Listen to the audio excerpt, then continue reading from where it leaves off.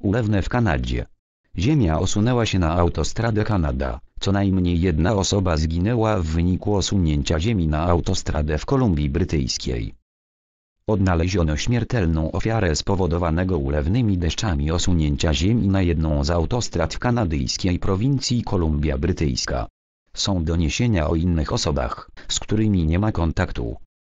Ofiarę osunięcia się ziemi odnaleziono na autostradzie 99, jednej z głównych dróg w południowej części Kolumbii Brytyjskiej. Policja przekazała mediom, że są także doniesienia o dwóch osobach, z którymi nie udało się jeszcze skontaktować. Według świadków osuwająca się ziemia mogła zepchnąć z autostrady od 3 do 10 samochodów, podały media. Cały czas trwa przeszukiwanie terenu przy autostradzie 7 w pobliżu Agassiz, gdzie w niedzielę dwa osuwiska zablokowały OK. 50 samochodów i skąd w poniedziałek helikopterami ewakuowano łącznie 311 osób, 26 psów i jednego kota, podawał publiczny nadawca CBC. Część miejscowości w Kolumbii Brytyjskiej jest odcięta od świata z powodu zamknięcia dróg. W niektórych miejscowościach prowincji doszło do ewakuacji. We wtorek wieczorem władze wezwały wszystkich mieszkańców Sumas Prairie, by niezwłocznie opuścili swoje domy w związku z zagrożeniem zalania przez wzbierającą wodę pobliskiej Fraser River. To wydarzenie będzie miało charakter katastrofalny, napisały władze w komunikacie.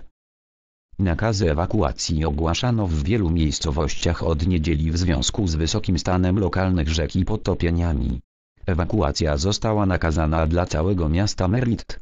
Z trzech mostów w tym mieście jeden został zniszczony przez rzekę, dwa będą wymagały dokładnej inspekcji przez specjalistów, ponieważ nie wiadomo, czy nie zostały uszkodzone, podały media.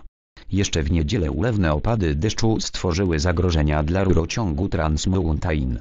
Wstrzymano pracę nad rozbudowywaną częścią rurociągu, a w rejonie miejscowości Hope Trans Mountain czasowo wyłączono z eksploatacji. Ostrzeżenie przed silnymi opadami kanadyjscy meteorolodzy wydali już w miniony piątek. Przyczyną ulewnych deszczów w Kolumbii Brytyjskiej, jak mówią w mediach meteorolodzy jest atmosferyczna rzeka nad Pacyfikiem, ciąg chmur tak mocno nasyconych wilgocią, że przypominają rzekę.